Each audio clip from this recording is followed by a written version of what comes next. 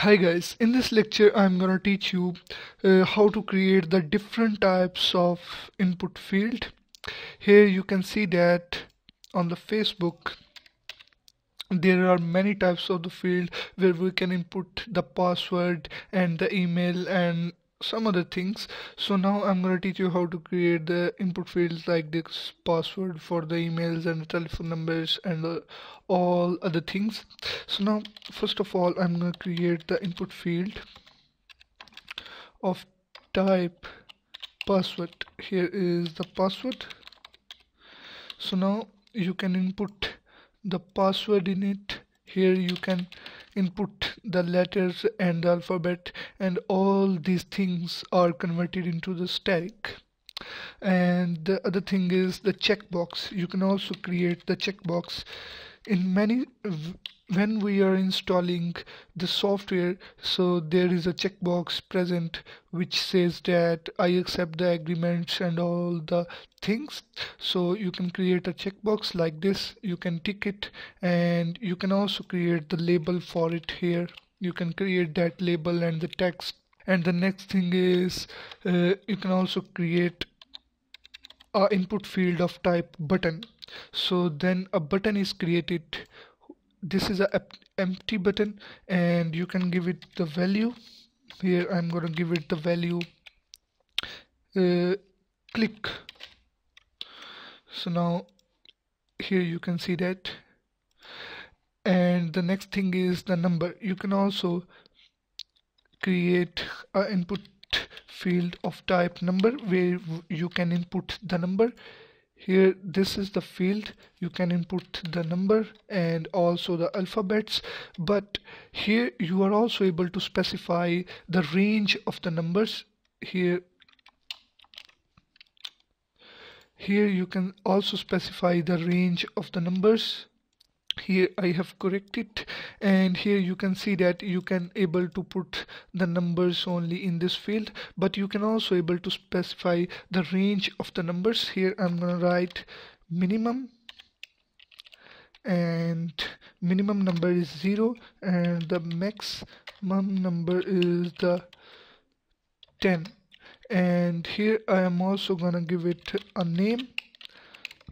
The name is test so now here is the field and here you can see that this is the lowest value and this is the highest value. And you can also create the value for this. When you load the page so that number is present in that field. Here I'm gonna give it 9 and here you see that when we load it so the 9 is present. And you can also create the step so first of all what is the step? The step is just a jump. Uh, when we click on this button so here you see that the 10 is converted into the 9 and 9 is converted into the 8 so this is it have the one step and you can create a step of two or three values here. I'm gonna give it the step of three values. So now when we click on it so it reduce the value by three. Here you can see that it increase or reduce by three values. And the next thing is the date. You can also create a input field of type date. Here I'm gonna create the date and now let's check it. And here you are able to input the dates and all things. Here you can see that you can change it. You can change anything. And you can also able uh, to specify the minimum and maximum date. Here I'm gonna give the minimum date is uh, 2000 is the year and then hyphen and then uh, 12 month and then 6 day and 6 December 2000 and the maximum date is the 2016 and the month is uh, August that is the 8 and then hyphen and then 6 is the day. Here is the sixth day. So now let's load it and and now here you can see the minimum date. Here I'm gonna uh, put the years. Here is the minimum date. Here I'm gonna select the minimum date. And here you can see that the minimum date is 2000 so it cannot goes down to the minimum date so here is a little error. We have not write the day in the two digits. Here I'm gonna write 6 day. Here is the 26 August. So now let's load it. And now here here you can see that it cannot goes up to the 2016 here is the 2016 and here you can see that this is the December.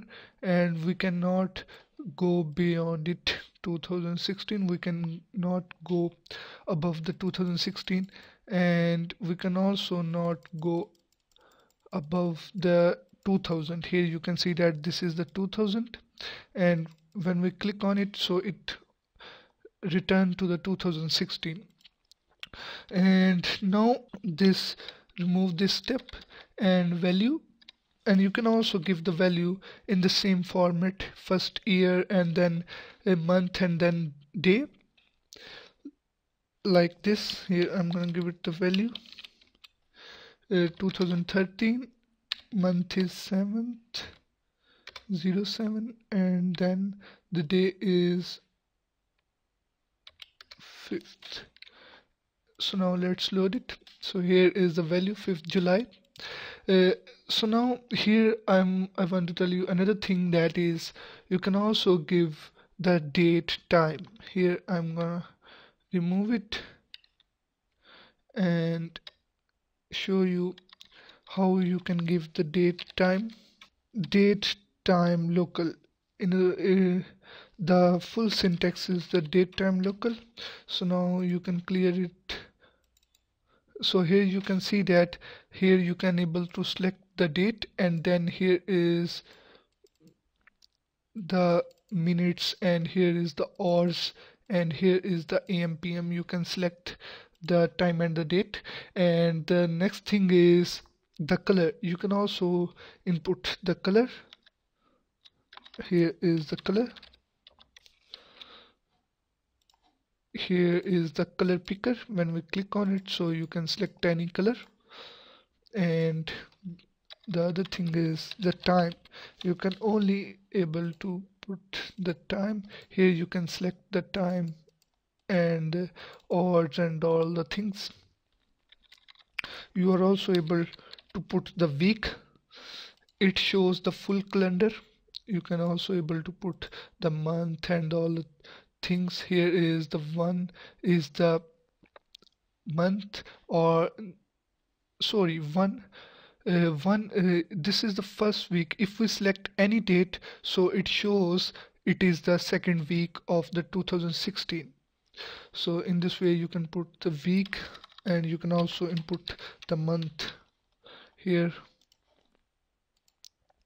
Here you can see that here when I put the 7 date so it shows that this is the date this is the January of 2016 and you can also input the number.